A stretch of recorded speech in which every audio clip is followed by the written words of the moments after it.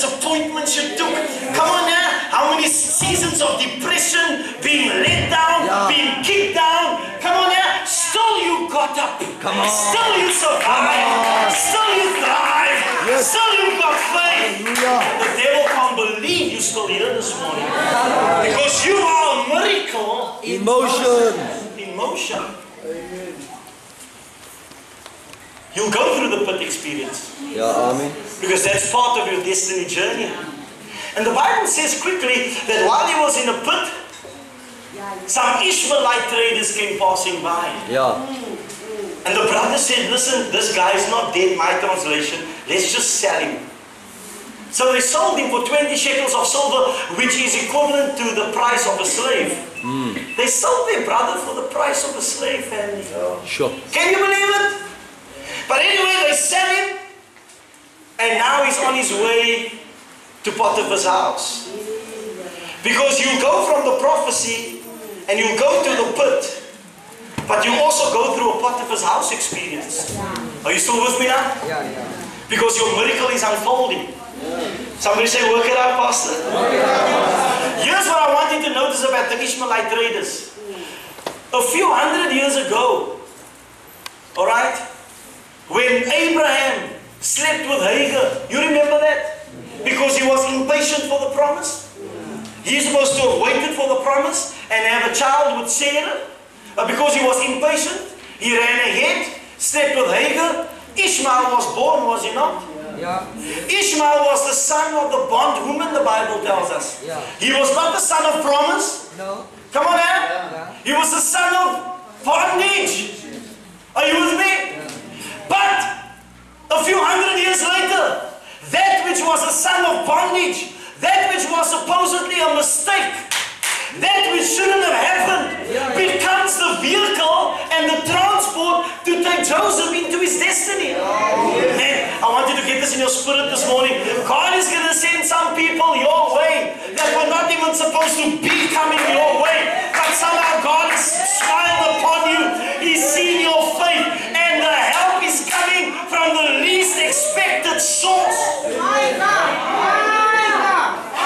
Yes. I got to work that out because Ishmael was not supposed to be born. Are you with me? He was not supposed to be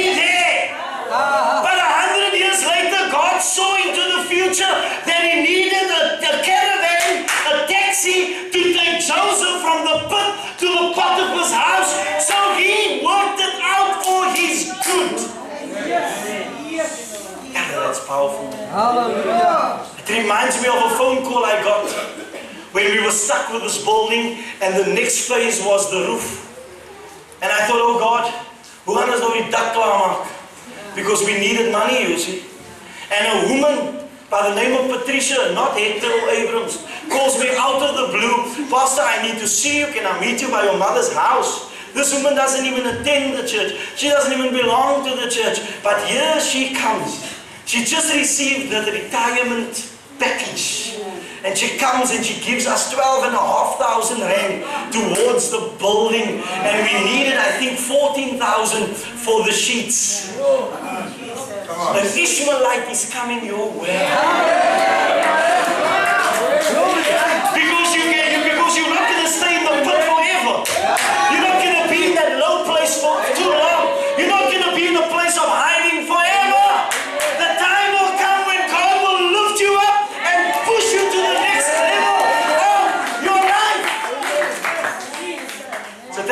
You, don't judge me while I'm in the pit. Don't judge me while I'm in the pit. Don't judge me while I take taxi, take bus, take train,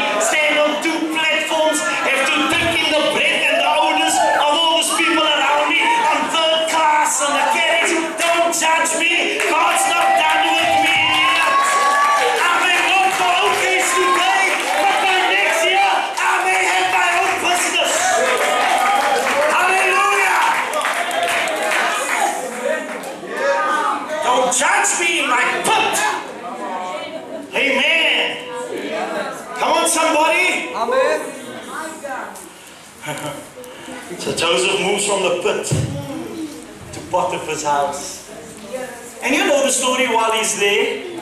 The Bible says while he's a prisoner, he prospers. You know why he prospered also? Because he was faithful with another man's belongings. That's what Potiphar's house speaks about. It speaks about a season in your life where you need to serve somebody else. Where you need to, come on now, help someone else with their dream.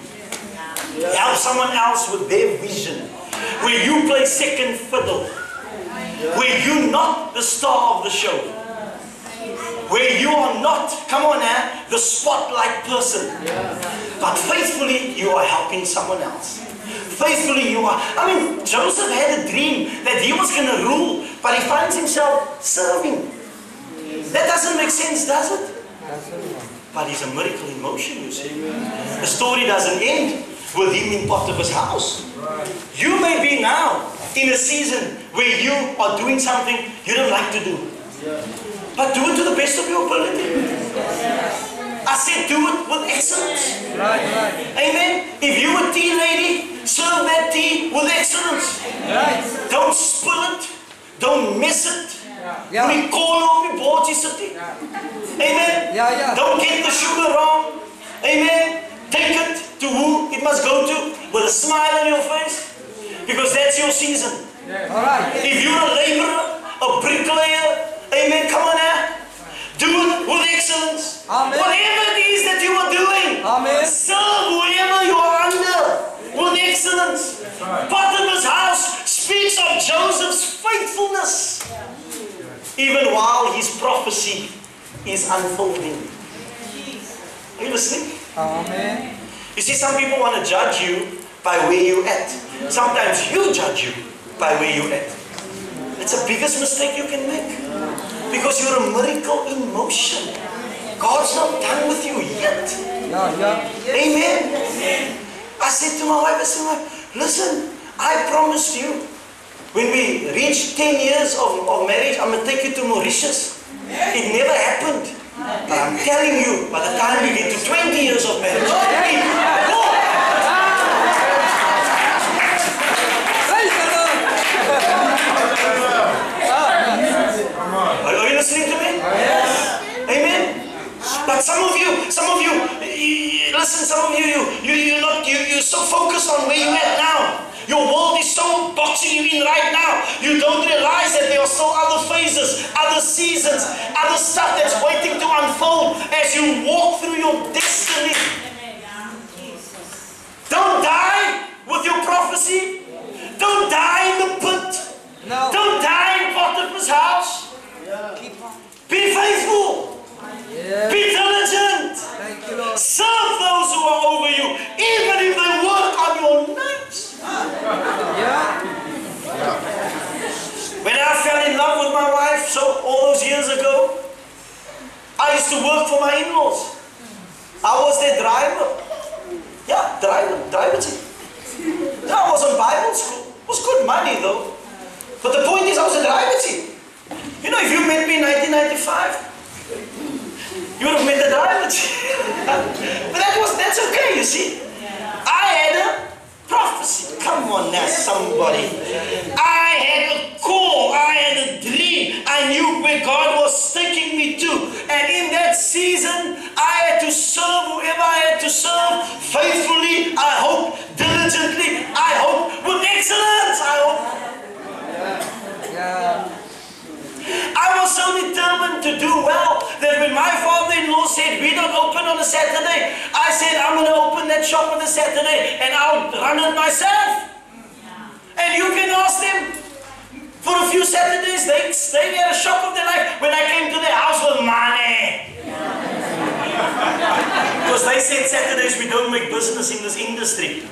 I said, all right, I'll open the shop. I'll stand there by myself. Are you listening to me? Yes, sir. Yeah. When you, when you, when you are a miracle in motion, even in a Potiphar's experience, Yeah. you say, yes, sir. No, sir. Do what you ask me to do. You don't throw your weight around like you the chargy when you are the daga mixer. You, you, you're faithful as the daga mixer. Yeah, right, right. Because one day God may make you the charging. Yes, yes, yes. But if you give your charging problems, one day your daga mixers are going to give you problems. All right, all right. Amen. Amen. Are you listening? So, so, so, so, so, so now he's in, you know the story. So, so, Potiphar's wife, the Bible says, cast longing eyes on Joseph. Kijk, als ik hem maar eh, uit de eh, geweest. en meer als ik hem maar een stad geweest, een sixpack en een wakwax. En die Bijbel zegt, ze zo, zo lekker diep geloofd. En die Bijbel zegt, ze heeft hem gesmaakt.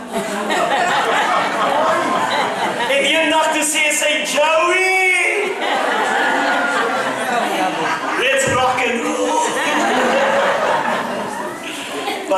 Bible says on that day when she grabbed hold of Joseph, the Bible says he let go of his coat and he ran. Amen. Because in that season of serving, you will be tested.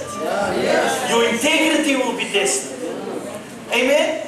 Your, your character will be tested. But as we move to the next phase quickly, we see that he moves from he moves from Potiphar's house. There's more to say. Time doesn't allow us. He moves into a prison. Because now Potiphar's wife accuses him of raping her. And, and the man gets thrown into prison because of a false accusation. Sometimes you're going to find yourself in trouble because of false accusations. It's amazing how people like lies more than the truth. And sometimes people will believe a lie over the truth because it's more juicy, it's more seductive, it's more intrusive, it's, it's inviting. You know? Are you listening to me? Yeah. Yes, it's the truth. You know, when, when you tell people good news, like that's why the papers don't print good news. Because it won't sell. So they still want to tell us about who got murdered, who got raped, who was killed, how many accidents on the road, en almal koop baie. En die mense wil nie koop, so. Goeie nuus. hier. Because of our nature. Are you with me now? So here's Joseph in prison, but, but here's the thing about Joseph. Joseph's in prison, but the prison is not in him. Amen. What the prison speaks about is your ability to stand strong even when you feel like falling. Because while he's in prison, falsely accused, without a trial, without a judge, without a hearing, just a false case, the Bible says he still prospers. Oh, hallelujah. You will prosper in your prison. You will prosper in a place of confinement. Because some people may say to you, hey, jy kom van die plein af, of jy kom van die Menenberg af, of jy kom van die veld, Heideveld, of die stint. Daar's niks binne in jou nie. Jy is 'n niks. But Joseph is in prison, but the prison is not in him. You may find yourself in an unhealthy environment, but don't let the environment get inside of you. Because you're a miracle in motion.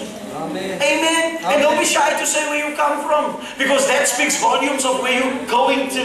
Because your end is always greater than your beginning. So if you tell people where you came from, it's a testimony of where God has taken you to. Hallelujah. Amen. And my brother came swimming there by me a few weeks ago, and he says to me, he says to me, oh, Christopher, 34 Brentwood Road, Wynberg.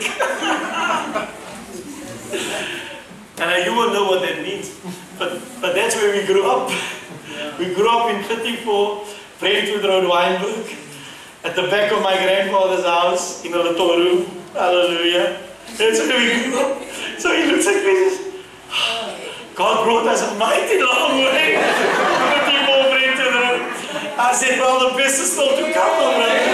The best is still to come. Hallelujah. Because God's not done with us yet. Are you listening? Do you believe that you can go and see the world? Do you believe that you can enjoy life? Do you believe that God can give you only the best? Do you believe